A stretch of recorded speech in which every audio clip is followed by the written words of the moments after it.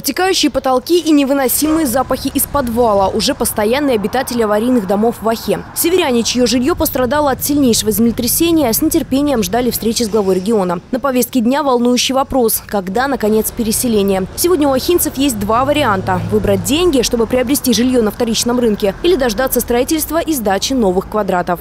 Хотелось бы, конечно, чтобы уважали строители нас, как людей. Они просто заселяли в какие-то непонятные условия, где там начинает потом все разбухать и так далее и тому подобное. Хотелось бы, конечно, что-то побольше, что-то пошире.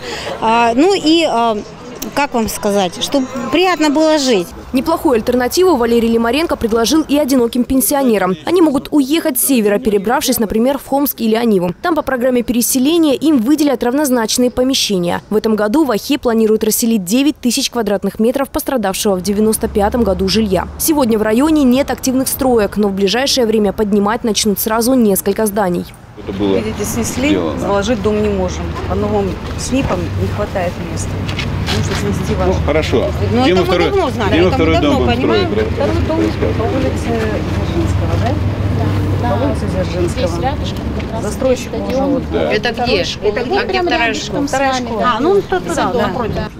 Отголоски страшного землетрясения преследуют ахинцев до сих пор. Дома выстояли, но оставили на себе неизгладимые шрамы. Трещины на стенах разрастаются, потолки протекают. Некоторые квартиры и вовсе брошены. Поднимал вопрос аварийных и даже опасных для жизни домов Валерий Лимаренко и на встрече с президентом России в прошлом году. Как итог, в регионе к 1 декабря 2019 года приготовили профильную программу, которая действует во всех муниципалитетах. Подписать же необходимые бумаги островитян зовут уже сейчас. В администрации города жителям аварийного жилья предоставят договоры на выбранную ими альтернативу.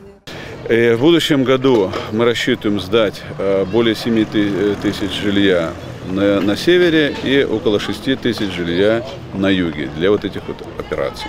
Кроме этого, глава региона рекомендовал представителям местной власти ускорить темп реализации программы переселения, чтобы ахинцы смогли, наконец, справить долгожданное новоселье. Алиса Львова, Евгений Ахмадеев, телекомпания ОТВ.